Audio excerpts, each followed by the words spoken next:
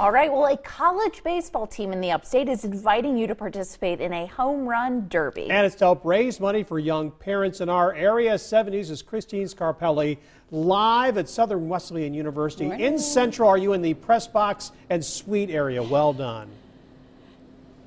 Listen, the VIP suite area is awesome this morning. There's a little heat in here. I'm going to be honest. Photographer Ryan and I are still frozen from Friday, so we thought for uh, maybe just our circulation to come inside, and we are being pampered in here by Southern Wesleyan University. Beautiful Connor Field just behind us there. You can even see the sun coming up a little bit.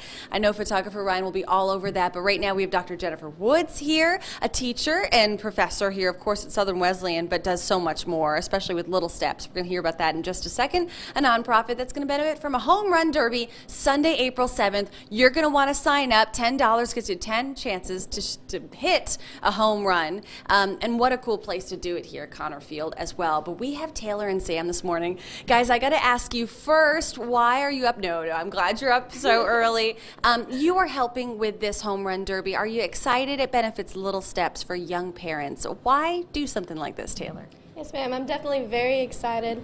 As college students, given the opportunity to volunteer for our community is an awesome idea, especially at Southern Wesleyan with such a close knit campus. Awesome. It's awesome to volunteer and give back to our community. Very good. It's a Sunday, so you could be resting up, right? Not in class, but you choose to come out and help on a home run derby. Why, Sam? Well, I'd usually be working anyway, so oh. it wouldn't be that big. Um, yeah. Southern Wesleyan is a place that encourages to give back to the community a lot. We even have a, uh, a day of service built into our spring semester most times. So this is just another wonderful opportunity for us to do that. Very good. And little steps, little steps, excuse me, benefiting parents ages 13 to 24. What will their donations go toward?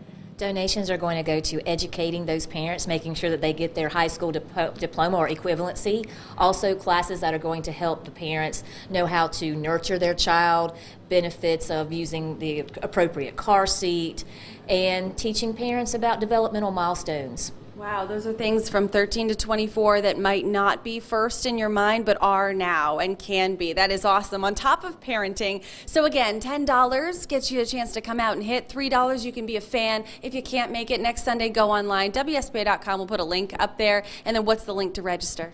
www.s oh, uh, excuse me www.littlestepssc.org. You nailed it. Perfect job. I'm glad she said it because I couldn't remember. There you go. Back to you guys. Sounds like a blast. All right. Thanks so much, Christine.